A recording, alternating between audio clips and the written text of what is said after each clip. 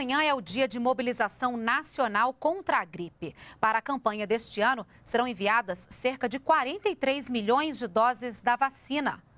A repórter Priscila Machado está no Ministério da Saúde e de lá traz os detalhes dessa campanha de vacinação. Boa noite, Priscila.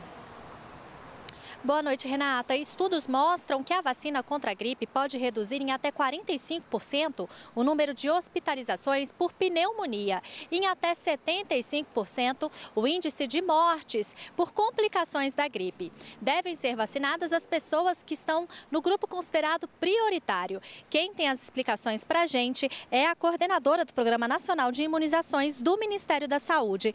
Boa noite. Quem deve receber essa imunização e ela protege de quais tipos de vírus? Boa noite. Devem receber as crianças de seis meses até dois anos de idade, as gestantes, independente do período gestacional, as mulheres até 45 dias após o parto, os, profissionais de saúde, as pessoas acima de 60 anos, os indígenas e, neste ano, também os doentes crônicos.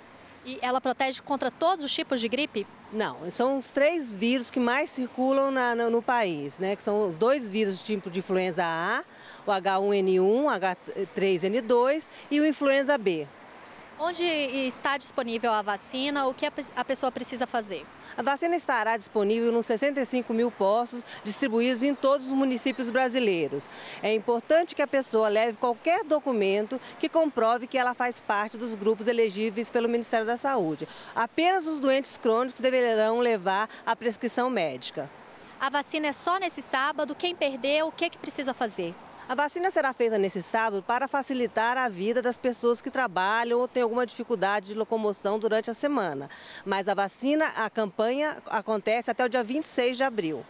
Muito obrigada pelas informações. Para receber a imunização contra a gripe, basta procurar qualquer um dos 65 postos de saúde de todo o país amanhã até às 5 horas da tarde. Renata.